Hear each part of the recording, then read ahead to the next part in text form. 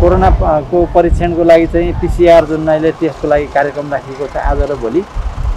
कर्मचारी र मान्य सदस्यज्यूहरूको अहिले दस बजीदेखि परीक्षण सुरु भएको छ। पिसिआरको सब कलेक्सन गर्ने काम भएको छ। अहिले करिब करिब पचास साठीजना जति पुगिसकेको छ सब कलेक्सनको चाहिँ आँकडा यो निरन्तर जारी रहन्छ आज र भोलि। र यसबाट टेस्ट गरिसकेपछि यसको रिजल्ट आइसकेपछि अब पोजिटिभ आएको अवस्थामा के के गर्ने अथवा नेगेटिभ आएको अवस्थामा के गर्ने भन्ने खालको छलफल चाहिँ अहिले चलिरहेछ। कार्यव्यवस्था परामर्श समितिको छलफलबाटै टुङ्गिन्छ अब अहिले चाहिँ प्रतिनिधि सभाको मान्य सदस्यहरूलाई मात्रै हो।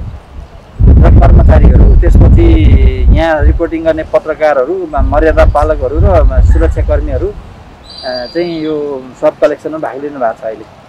हस्।